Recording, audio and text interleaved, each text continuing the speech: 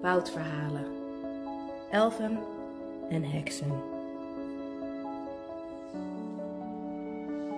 Prachtige illustraties ondersteunen de wonderlijke verhalen en legendes van over de hele wereld. Over elfen, feeën, nimfen en heksen.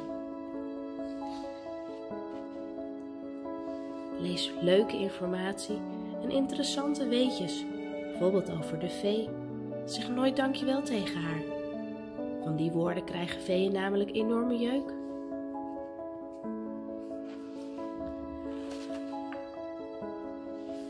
Bijzondere verhalen maken dit boek helemaal af.